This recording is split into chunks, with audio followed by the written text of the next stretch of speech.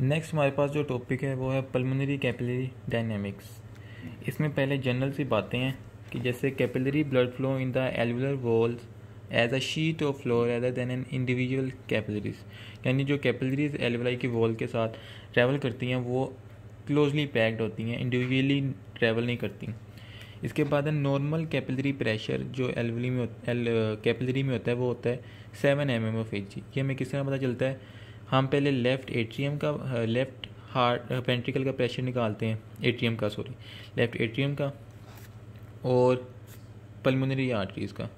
Left atrium का normally होता है two M M H G और पल्मोनरी आर्टरीज़ का होता है फिफ्टीन तो ज़ाहरी बात है पल्मोनरी कैपिलरीज़ का इनका, इनके दरमियान लाई करेगा. तो ये तकरीबन बनता है seven M M H G इसके अलावा mean art pulmonary arterial pressure होता है fifteen M M H G ये सारी याद करने वाली बातें हैं। इसके बाद है कि when cardiac output is normal blood passes through pulmonary capillaries is about point eight second और जब कार्डियक आउटपुट बढ़ जाती है तो टाइम पॉइंट थ्री सेकेंड्स में कैपिलरी से ट्रैवल कर जाता है। यानी अब इसे कायम कम टाइम लगा है पल्मोनरी कैपिलरी से पल्मोनरी कैपिलरीज में ट्रैवल करने। पहले ब्लड ट्रैवल कर रहा था पॉइंट एट सेकेंड से। जब कार्डियक आउटपुट बढ़ गई तो ब्लड जल्दी ट्रैवल कर जाएगा पल्मोनरी कैपिलरीज में से। नेक्स्ट पे है हमारे पास पल्मोनरी कैपिलरीज और पेरिफेरल कैपिलरीज में डिफरेंस पल्मोनरी कैपिलरीज में जो प्रेशर होता है, वो normally seven M M H होता है, जैसे ऊपर देखा हमने।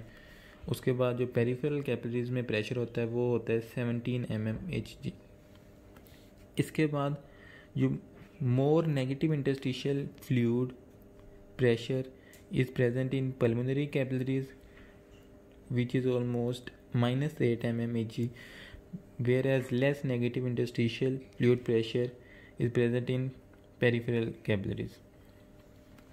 Next colloidal osmotic pressure जो पल्मोनरी इंटरस्टिशियल फ्लूइड में होता है वो 14 एम एम होता है और जो colloidal osmotic pressure peripheral capillaries में होता है वो तकरीबन इसके हाफ़ होता है तकरीबन seven M M of H G तो ये सारी जनरल बातें थी इसके बाद जो मेन टॉपिक है वो ये है। इसमें हम बात करेंगे कि वो कौन से फैक्टर्स हैं जो पल्मोनरी कैपिलरीज और इंटरस्टिशियम में फ्लूड एक्सचेंज की वजह बनते हैं। उससे पहले जो दो मेन इम्पोर्टेंट बात वो जो याद रखने वाली हैं वो ये कि हाइड्रोस्टैटिक प्रेशर जहाँ पर भी प्रेजेंट होगा। उसकी ये कोशिश होगी कि वो फ्लूड को अपने से बाहर की तरफ़, यानी आउटवर्ड फोर्स लगाता है हाइड्रोस्टैटिक प्रेशर और जो ऑस्मोटिक प्रेशर होता है, उसकी कोशिश होती है कि वो फ्लूड को अपने अंदर होल्ड कर कर रखे। चाहे वो ऑस्मोटिक प्रेशर कैपिलरीज में या इंटस्टिशियम में, इसकी कोशिश यही होगी कि वो अपने अंदर फ्लूड को होल्ड कर कर रखे। सिंपली ये कि हाइड्रोस्टैटिक प्रेशर आउटवर्ड फोर्स लगाता है और ऑस्मोटिक प्रेशर हमेशा फ्लूड को अपने अंदर होल्ड करता है। तो अब हाइड्रोस्टैटिक प्रेशर पल्मिनरी कैपिलरीज में कितना है? सेवन तो इसकी कोशिश क्या होगी? आउटवर्ड फोर्स और जो हाइड्रोस्टैटिक प्रेशर ये इंटरस्टिशियम में हाइड्रोस्टैटिक प्रेशर नहीं है एट ये प्रेजेंट होता है एलवलाई में. एलवलाई में ये किस तरह हाइड्रोस्टैटिक जनरेट होता है? पल्मोनरी कैपिलरीज में तो ये जनरेट होता है by the pumping of heart जो ब्लड फ्लो करता है, वो एग्जर्ट करता है सेवन अब एलवलाई में जो सरफेक्टेंट प्रेजेंट होता है, उसमें जो वाटर मॉलिक्यूल्स प्रेजेंट होते हैं सरफेक्टेंट में, वो ये प्रेशर लगाते हैं प्रेशर हाइड्रोस्टैटिक प्रेशर एट जब हाइड्रोस्टैटिक प्रेशर जहाँ भी प्रेजेंट होगा, उसकी कोशिश होगी कि वो आउटवर्ड फोर्स लगाए। यहाँ से वो लगाएगा आउटवर्ड और जो एलवलाई से एलवलाई में प्रेजेंट होगा एट हाइड्रोस्टैटिक प्रेशर इसकी भी कोशिश होगी कि वो आउटवर्ड फोर्स लगाए। तो ये भी आउटवर्ड फोर्स लगा रहा है और ये भी आउटवर्ड फोर्स लगा रहा है। और इनके दरमियान ये इंटरस्टिशियल फ्लूड है। तो ये दोनों आउटवर्ड फोर्स हो गई।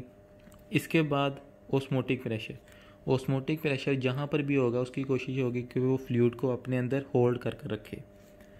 तो इसकी कोशिश होगी कि वो फ्लूड को बाहर ना जाने दे तो ये इनवर्ट फोर्स लगा के रखेगा।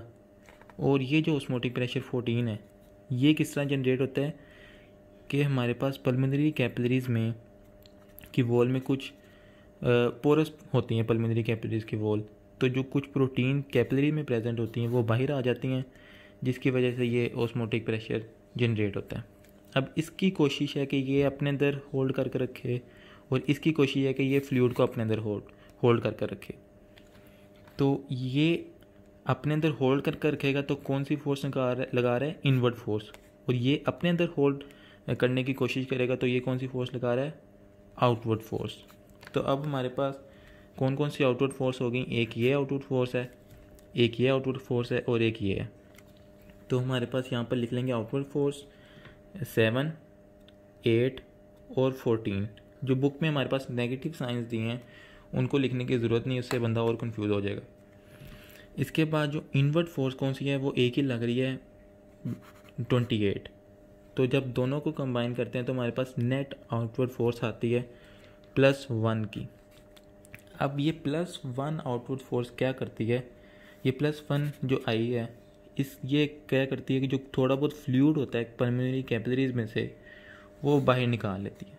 थोड़ा बहुत, क्योंकि ये फोर्स बहुत कम है प्लस वन अब जो कुछ फ्लूड बाहर निकले वो लिम्फेटिक वेसल्स के थ्रू चला जाता है लिम्फेटिक वेसल्स में चला जाता है, और लंग्स में लंग के इंटस्टिशियम में जो है वो वहाँ रहता नहीं है।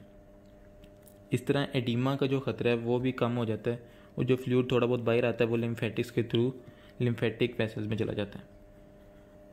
अब यहाँ से भी पढ़ लेते हैं कि positive pressure in the interstitial fluid clears the extra fluid that appears in the alveoli, and this fluid is then carried through lymphatic lymphatic surrounding the alveoli.